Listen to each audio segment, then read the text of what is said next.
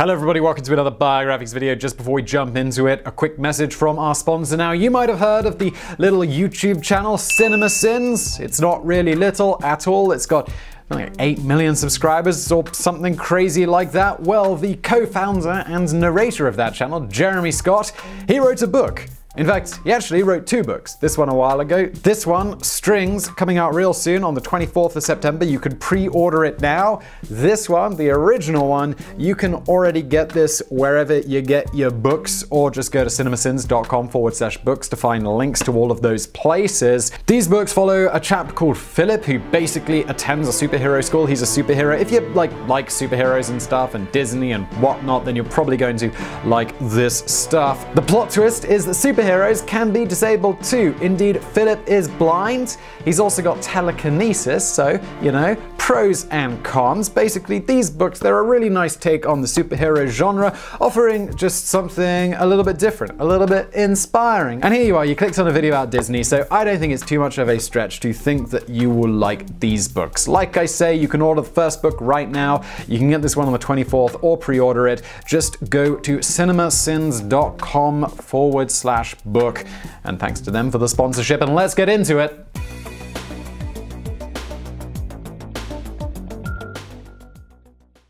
So today's highly recognizable protagonist was hailed as a genius of entertainment, a wizard of animation, a pioneer of technology and theme parks. The influence of Walt Disney on today's popular culture and collective imagination it cannot be understated. You can love him, you can hate him, or you can love to hate him, but you simply cannot ignore his work. Walt Disney once famously said that laughter is America's greatest export. But, well, it's not. It's actually travel and transportation, with $236 billion in sales in 2017. But sale of intellectual property, including TV and movies, amounts to $49 billion, which is still big. Indeed, it's twice the GDP of Cyprus. So, if by laughter we mean entertainment, then yes, American entertainment entertainment is one of the country's most important exports, and these days, a good chunk of that intellectual property is owned by Walt Disney Studios, Pixar, Buena Vista, Miramax, plus the Marvel and Star Wars franchises are some of the largest and most visible entertainment companies owned by the House of Mouse. Disney's legacy can capture the imagination of every girl or boy from early childhood all the way through adulthood. And to think, it all started with the doodle of a mouse sketched during a depressing train ride home. But, well, we're getting ahead of ourselves.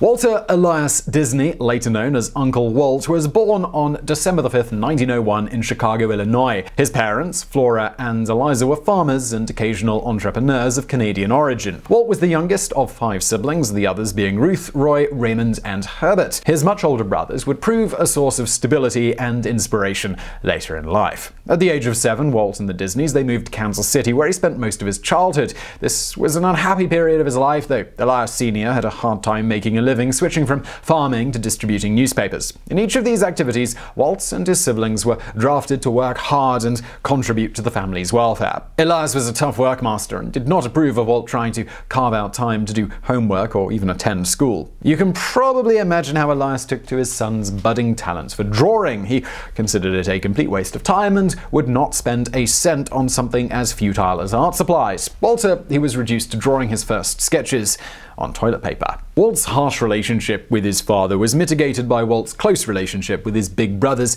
especially Roy and Herbert, who were an early source of encouragement for him. Unfortunately, Roy, Raymond, and Herbert they moved out of the family home eventually, leaving behind the much younger Walt. In 1917, the US joined the Entente in World War I. Alongside many other patriotic American boys, Walt longed to do his part by donning uniform to serve in France. He may have also had the added motivation to leave his home behind, considering the fact that he faked his age to join the army at 16, Walt was likely trying to escape from his home life. Unfortunately, he was rejected for being too short.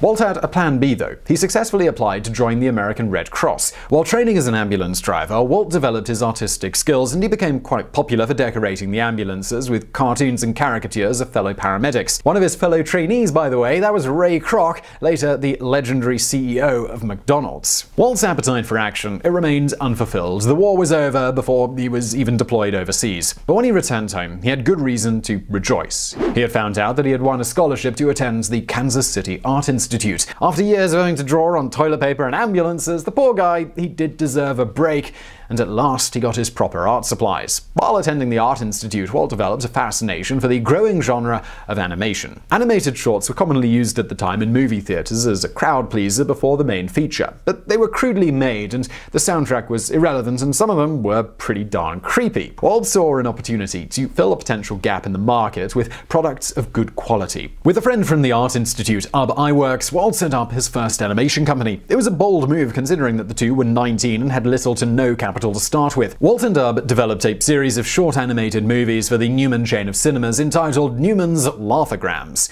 The company, it was short-lived, running from 1920 to 1923, but its cartoons were a hit with audiences. Walt experimented with some of the themes that would later become a staple of his production. Anthropomorphized animals, innovative takes on classic fairy tales, a keen eye for popular music, jazz at the time, and slapstick humor. As talented animators as Walt and Ub may have been, as businessmen well, they were kinda rubbish. The production costs of their shorts were too high and they signed unfair distribution deals. They thought they'd hit the jackpot when a distributor company called Pictorial Clubs of Tennessee promised $11,100 for six cartoons. That's 142,000 in today's money, but Pictorial never paid and the Laugh-O-Gram company it soon went bankrupt. Interesting aside here, if today some Laugh-O-Grams are still intact and available, it's thanks to those Pictorial Club scoundrels. They kept the six cartoons in their vault and reissued them when Disney Disney had become a household name. The fellow animator and other employees of Walt's startup, well, they were about to call it quits. But Walt had a brilliant idea with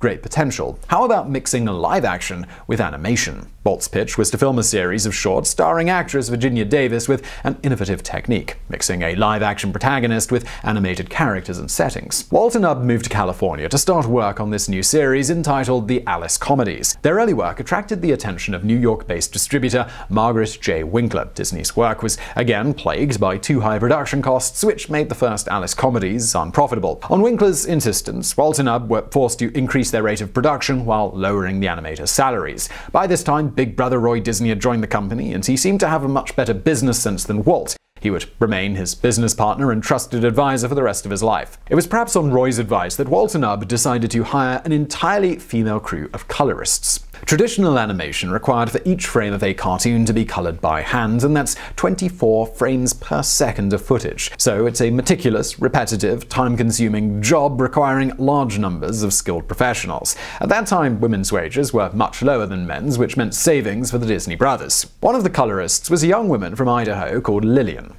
At the end of a long day's work, Walt would routinely drive home a group of his employees. Whatever the route, he would always make sure that the last person to be dropped off was Lillian so that he could spend more time alone with her. Lillian probably got the hint, and the two started dating, and this led to a short engagement and to their wedding in July of 1925. By 1927, American audiences had grown weary of the Alice comedy's shorts, and Walt wanted to diversify his production. He started working on a new character, Oswald the Lucky Rabbit. This series was successful, and Walt considered rescinding his contract with Margaret Winkler to chance distribution on his own. But in 1928, Walt discovered that Margaret and her husband, Charles Mintz, later of Universal Pictures, were masters of the fine print at the bottom of contract. During a business meeting in New York, he learned that as part of the deal with Winkler, every intellectual property developed within the terms of the contract would be legally owned by Winkler and Mintz. Unbeknownst to him, the New York power couple had another nasty trick in reserve. Their pushy demands and deadlines for the Alice films alienated Disney's animators. Most of them had vented their frustration against Walt rather than Winkler, so when they eventually quit the company, they were hired en masse by Universal.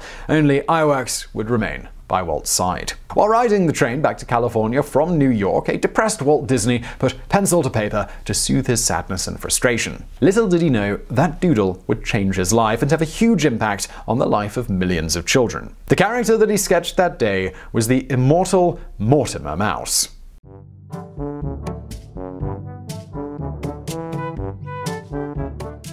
So now you might be asking, well, Mortimer who? Well, that character was Mickey Mouse, but Walt's initial choice of name was Mortimer. Luckily, Lillian talked into his senses and advised that he change the name to Mickey. If you are into these sort of things, the name Mortimer is of Old French origin and means Dead Sea, not exactly the cheeriest of names for a talking mouse. Walt's company was now called Walt Disney Cartoons, a skeleton crew which included only him and Ub on the drawing and animation duties, with Roy supervising the business and his wife and Edna coloring and inking with Lillian. The gang soon delivered three Mickey Mouse cartoons. The first two did not sell. For the third one, Walt had the intuition to add a recent cinematic innovation, a synchronized soundtrack which included a catchy whistling tune. This was Steamboat Willie. It opened on November 18, 1928, and it was an immediate success for Walt Disney cartoons. Finally, the big break had arrived, and the company would produce a string of hit animated shorts. In 1929, they created the cartoon series Silly Symphonies. An 1832 episode, Flowers and Trees, was the first cartoon to be produced in color and to win an Oscar.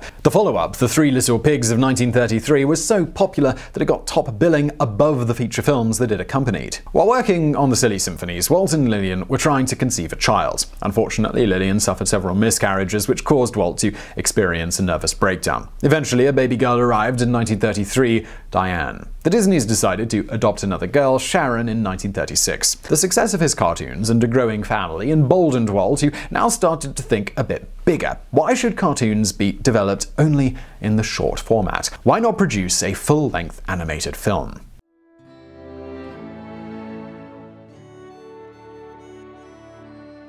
In 1934, Walt started working on that very idea, a cartoon that ran for the length of a feature film. As he had done previously, Walt sought inspiration from a classic fairy tale, Snow White, by the Brothers Grimm. Nobody in Hollywood believed in Walt. Among the studio lots, film executives sneered at the project, calling it Disney's folly. The production was not easy, going over time and over budget, but when Snow White and the Seven Dwarfs opened on December 21, 1937, it won immediately the hearts and minds of both audiences and critics. Including subsequent releases and adjusting for inflation, Snow White is the 10th highest grossing movie of all time. At the 1938 Academy Awards, the film was nominated for Best Soundtrack and received a special award award for significant screen innovation in the shape of one normal sized Oscar and seven little statuettes. Walt Disney Studios continued working on shorts, but the main production focus was firmly on feature length cartoons. Walt's next two projects were incredibly ambitious. He released Pinocchio and Fantasia both in 1940. Pinocchio was a relative success, not as astounding as Snow White, but, well, Fantasia, it tanked. If you haven't seen this movie, it is absolutely worth a watch. But 1940 audiences, they did not agree, and for the next production, Dumbo, Walt had to tighten the belt and reduce costs to a minimum. Dumbo's artwork and animation are visibly cruder than the three previous movies. The running time is also quite short, but the film it was highly profitable. This relative reduction in quality may have also been a consequence of a studio animator's strike, events which deeply angered and worried Disney. A 2006 biography of Walt Disney by Neil Gabler sheds some light on Walt's relationship with his employees, trade unions, and communism. To put it simply, Walt Disney was a tough boss to work for. It is no surprise that his employees wanted to organize themselves into a union, but he considered industrial action as a dangerous expression of communist tendencies. How about this for an example? When Walt turned 35, his brother Roy encouraged employees to throw the boss a surprise birthday party. Two of the animators thought it would be a fun idea to create a short cartoon out of Mickey and Minnie Mouse going at it.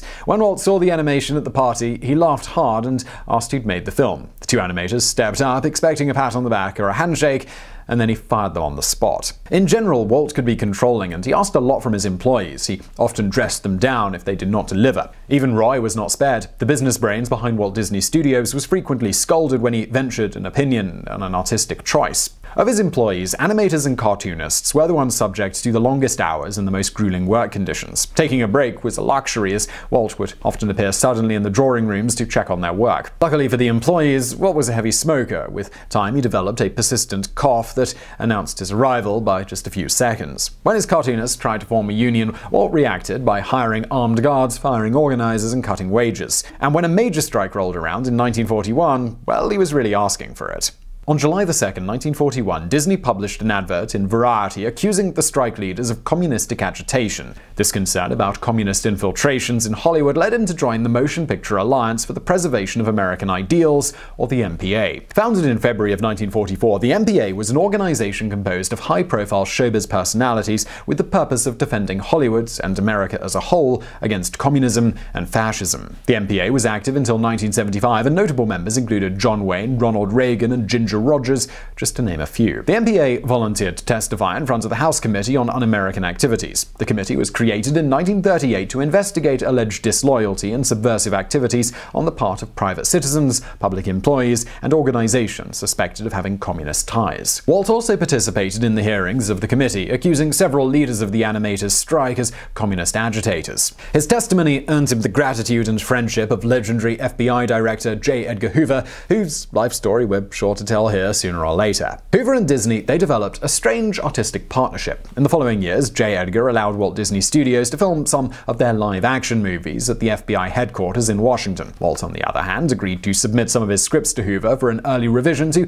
ensure that the FBI was depicted correctly. But apparently, Hoover did not make any changes to the classic animated films. In addition to these exchanges of favors, Hoover and Disney appointed as a special agent in charge of contact in 1954. In other words, a trusted informer and collaborator of the FBI. And here's for a fun fact. Decades after Walt Disney's death, his company would pay homage to the FBI chief with a minor character, Jay Gander Hooter, from the TV series Darkwing Duck. In the 1950s, Walt Disney eventually distanced himself from the MPA, as he lost interest in their ideals and their paranoid approach to anti-communism. Walt's association with the MPA is the source of the rumor that he was anti Semitic, but biographer Neil Gabler, otherwise a harsh critic of Disney's, dismisses this claim as unsubstantiated. Walt regularly hired or had business with Jewish employees and colleagues. In 1955, he was even appointed Man of the Year by the B'nai B'rith International, a Jewish cultural organization. This is not the only persistent, unfounded rumor on Walt, but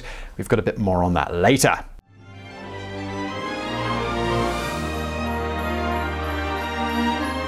In the 1950s and 1960s, Walt Disney Studios produced a series of animated masterpieces that won well-deserved popular success. Let's list them quickly because I know if I miss one I'm going to get some backlash. Cinderella 1950, Alice in Wonderland 1951, Peter Pan 1953, Lady and the Tramp 1955, Sleeping Beauty 1959, 101 Dalmatians 1961, and Mary Poppins from 1964. Everybody has a favorite from one of these films.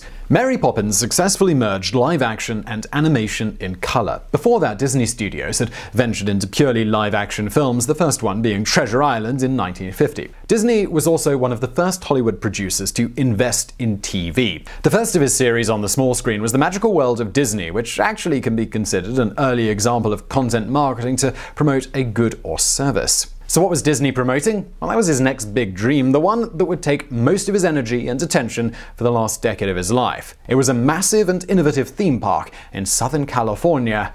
Of course, that's Disneyland. The park was developed in the town of Anaheim after demographics experts convinced Walt that it would become a major population center within the next 10 years. Time would prove that they were absolutely right when the local population and park visitors soared. Disneyland opens on July 17, 1955, and its first day was a disaster. 30,000 people turned up instead of the projected 15,000, meaning restaurants were soon out of food and drink. A plumber strike also forced Walt to choose to either have flushing toilets or working drinking fountains. He went with the toilets. Further, one of the attractions was so overgrown with weeds that Disney ordered to place placards around with Latin names on them. He was essentially disguising the shrubbery as an arboretum. Of course, everything improved with time, and Disneyland became one of the most visited and successful theme parks in the world. When looking at visitor stats, Disney realized that only a small fraction came from the West Coast. That's when he got the idea of building a sister park in Florida, Disney World, developed around the prototype of a futuristic perfect city called Epcot.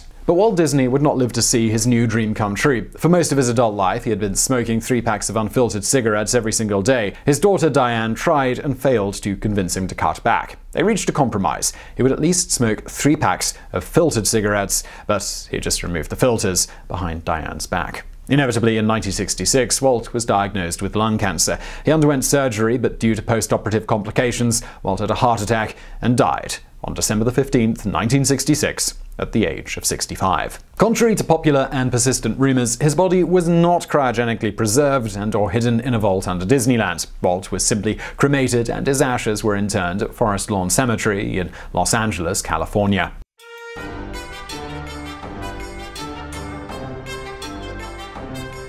So I hope you'll forgive me for stating the obvious, but Walt Disney was and still is a controversial figure, as is normal for somebody whose influence on the surrounding world and society is larger than life. A personality like Disney will never be free from exaggeration, slander, and rumors, or the opposite risk is to portray him exclusively in a saintly light. For sure, Walt Disney was not the fairest of business leaders, not the most balanced of workplace bosses, not the most level headed when confronted with different political ideas. But it's also true that he did deliver a lasting impact on society, culture, and children through his innovative work. As Walt once said, I'd rather entertain and hope that people learn than teach and hope that people are entertained. So I really hope you found that video interesting. If you did, please do hit that thumbs up button below and don't forget to subscribe. Also, remember you can grab this book at cinemasins.com forward slash book. You can pre-order it right now. It's released on the 24th of September. So if it's after the 24th of September and you're watching this, well, great, you can grab it now. But until then, pre-order at cinemasins.com forward slash book.